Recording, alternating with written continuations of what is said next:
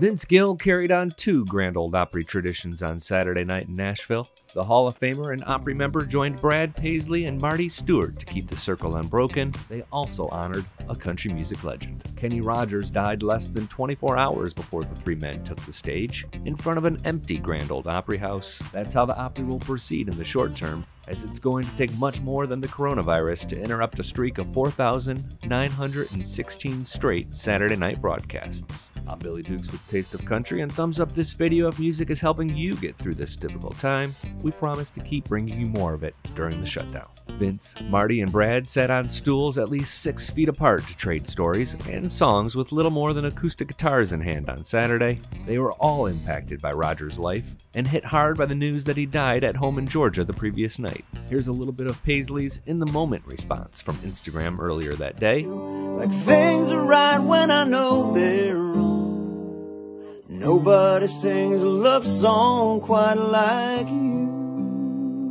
Sweet Music Man is the song he's singing in the video. It's also the song Vince chose to honor Rogers on Saturday night in Nashville. Sweet music man.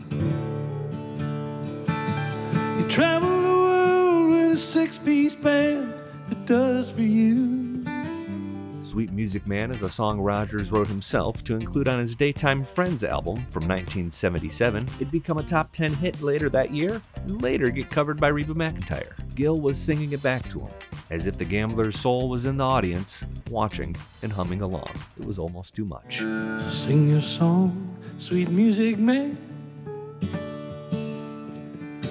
You're making you live and doing one night stands that prove to you they don't need.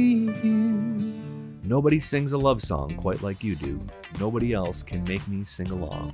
Nobody else can make me feel that things are right when I know they're wrong. Nobody sings a love song quite like you, the song goes. We dropped a link to Kenny's full version of the song in the corner and in the description section. Sweet Music Man opened the Grand Ole Opry performance, but Paisley closed his song This Is Country Music with an ode to the singer by performing The Gambler. What's your favorite Kenny Rogers song? The 81 year old died of natural causes after a short illness and some time in hospice on March 20th. His family was by his side through it all. Find a button for 20 of his best songs at the end of this video, and look for the world's longest running radio show to continue this Saturday night. In addition to finding it on WSM AM and Sirius XM, you can watch the Grand Ole Opry live on Circle TV as well as the Circle's YouTube channel. I'm Billy Dukes for Taste of Country. Thanks for watching, thanks for subscribing, and thanks for watching.